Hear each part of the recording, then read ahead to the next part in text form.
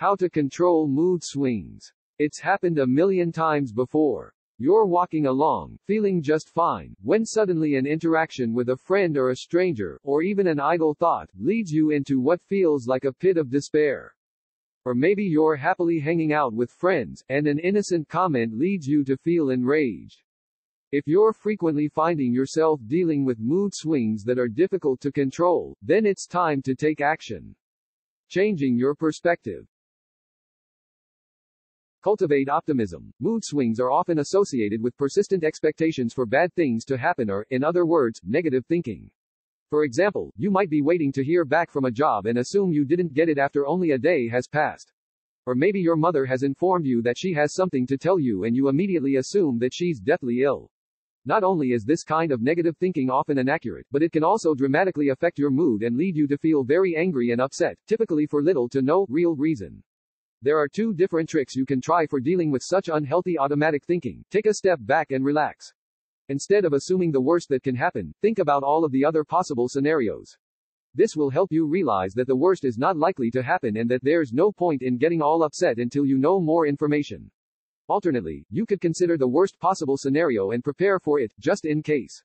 By ensuring that you are well prepared for even the worst case scenario you can imagine, you might be able to focus your attention on something else instead of dwelling on the unpredictable consequences that could result from it. Take a step back and relax. Instead of assuming the worst that can happen, think about all of the other possible scenarios. This will help you realize that the worst is not likely to happen and that there's no point in getting all upset until you know more information. Alternately, you could consider the worst possible scenario and prepare for it, just in case. By ensuring that you are well prepared for even the worst case scenario you can imagine, you might be able to focus your attention on something else instead of dwelling on the unpredictable consequences that could result from it. Avoid overgeneralizing negative outcomes. Overgeneralizing is another way that you may lead yourself into a bad mood. Maybe you had a bad interaction on a date or with a coworker. So what? You may think this means that you'll never find love or that you're going to be fired, but you should NT let this one situation or conversation make you feel like it's indicative or determinant of other trends in your life. This kind of generalizing is bound to make you moody and upset, but there is a way to counteract it. Remind yourself that what happened was an isolated incident. Instead of assuming one incident such as a disagreement with a coworker or date is reflective of your entire relationship with this person, consider it as a one-off and something that doesn't happen very often. Remind yourself of all of the success you have had in this realm, whether it's your work life or your romantic life, and you'll be able to calm down a bit and realize that there's no need to get all worked up about it. Make space for the gray areas of life. Thinking only in terms of extreme, or black and white outcomes e.g., perfect versus disastrous or beautiful versus ugly, etc. is associated with both mood swings and sudden alterations in affect. Focusing too much on just one outcome as opposed to any other has been shown to severely restrict your ability to engage with ideas and emotions that arise through your interactions with the world. To reference 3, greater than if everything is judged simply in black or white terms, such as whether something makes you either happy or unhappy, successful or a failure, beautiful or ugly, you will be missing out on a full range of experiences. It's important to remember that the world is much more nuanced than this. The world is gray, not black and white. There are many different outcomes other than just being a complete success or a total failure. For example, maybe your latest business deal fell through. Does this make you a failure in the business world? Absolutely not. You've had plenty of successes and a few setbacks. This in fact just makes you a real and well-rounded human being. If something doesn't go your way, chalk it up to experience. If you didn't get the job you wanted, it doesn't mean that you have no skills, but that that particular opportunity was not a good fit. The world is big, and there are lots of opportunities out there. Don't let one rejection, or even many, tell you who you are and drive you into a dark emotional place. Focusing too much on just one outcome as opposed to any other has been shown to severely restrict your ability to engage with ideas and emotions that arise through your interactions with the world. If everything is judged simply in black or white terms, such as whether something makes you either happy or unhappy, successful or a failure, beautiful or ugly, you will be missing out on a full range of experiences. It's important to remember that the world is much more nuanced than this. The world is gray, not black and white.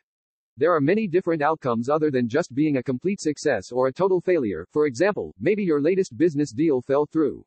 Does this make you a failure in the business world? Absolutely not. You've had plenty of successes and a few setbacks. This in fact just makes you a real and well-rounded human being. If something doesn't go your way, chalk it up to experience. If you didn't get the job you wanted, it doesn't mean that you have no skills, but that that particular opportunity was not a good fit. The world is big, and there are lots of opportunities out there. Don't let one rejection, or even many, tell you who you are and drive you into a dark emotional place. Learn to laugh at yourself. One of the most important things you can do to control your mood swings is to learn to take a step back and laugh at yourself. People who are prone to mood swings often take themselves pretty seriously, which makes it difficult to be able to poke fun at yourself, make a joke at your own expense, or even be able to laugh at a debacle you've found yourself in. But if you want to control your mood swings, then you have to be able to sit back and sometimes laugh, instead of letting every little thing that life throws at you get you riled up. For example, you're walking to pick up your date, and a bird poops on your head. You could choose to get enraged, upset, or frustrated, or you can take a step back and think, wow, what are the chances of that happening? Or, hey, at least I'll have a great story to tell the kids someday about mine and mom's first date. Of course, some situations can't be laughed at. However, for all the rest, some happiness can help you stay strong and in control of your moods in the middle of challenging situations. For example, you're walking to pick up your date, and a bird poops on your head. You could choose to get enraged, upset, or frustrated, or you can take a step back and think, wow, what are the chances of that happening? Or, hey, at least I'll have a great story to tell the kids someday about mine and mom's first date. Of course, some situations can't be laughed at.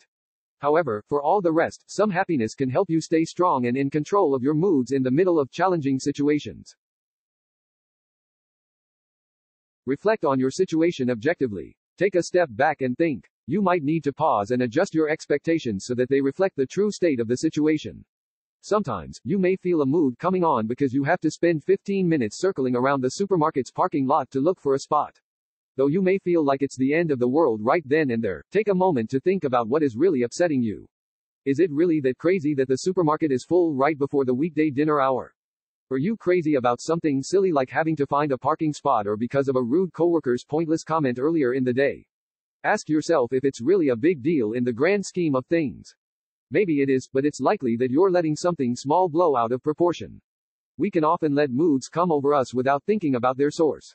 Though knowing that there's no logic in your current mood may not help you change it, it can allow you to calm down a bit and realize that things aren't as bad as they may feel to you. Think about your situation as if you were someone else. What would you tell yourself to do? Would you think that the situation you're in is really that big of a deal?